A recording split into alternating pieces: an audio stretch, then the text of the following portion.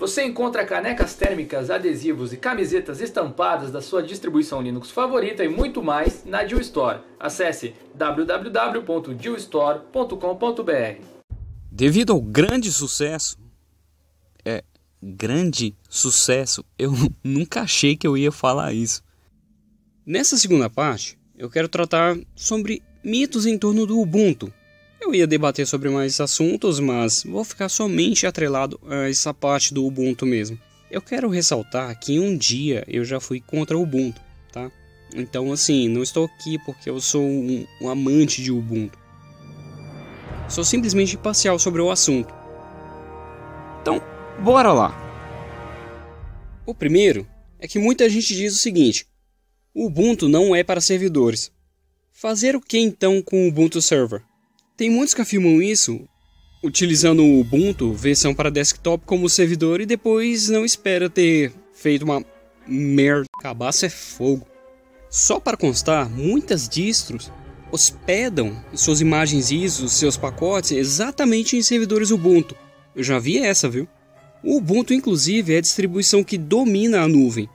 Aliás, quem afirma isso, pode ir lá na IBM e avisar que o Ubuntu não é para servidores, porque ele está dominando o Linux One. Segundo mito, o Unity é pesado. Bom, se o Unity é pesado, logo o GNOME também, porque o Unity é um fork do GNOME. E automaticamente ele herda muita característica do GNOME. Aliás, me lembro que o GNOME consome muita RAM, mas deixar uma ressalva aqui, que é na verdade o que eu quero chamar a atenção de vocês, é que consumir RAM não é sinônimo de ser pesado, um programa pesado. No GNOME mesmo, por exemplo, você utiliza sem perceber que ele está consumindo muita RAM.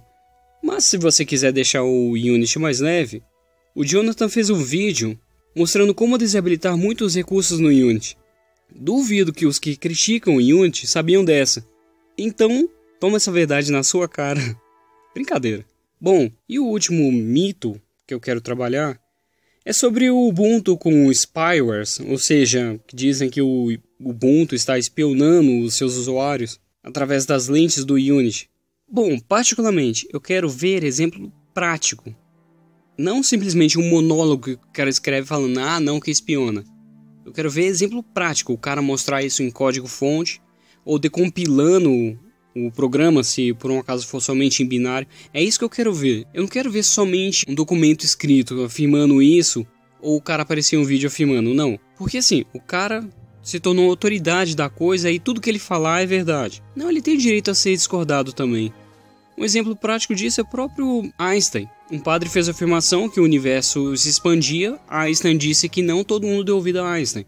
E hoje provam que o universo ele aumenta, ele está se expandindo. Então as autoridades da inteligência aí têm direito a ser questionado e duvidado também.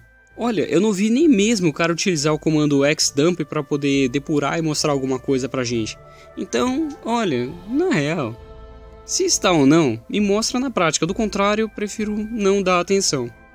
Então é isso, galera, eu fico por aqui, nessa segunda parte que eu não esperava trazer. E pretendo trazer uma terceira parte, ou até quantas vezes eu achar que vale a pena trazer o assunto sobre mitos sobre distribuições. Isso pode ser utilizado no dia a dia de vocês quando argumentarem. Tá bom? Então eu fico por aqui, eu espero que vocês tenham gostado.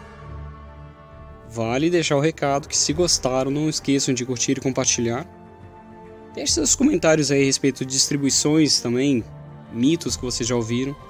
E eu queria deixar até um aqui do Júnior Freire, que muita gente está virando hack agora. Depois do Kali Linux, tá muita gente aí virou hack. Estão virando hack mesmo. Virando hack, geladeira, fogão, cama. Isso aí, um abraço e falou!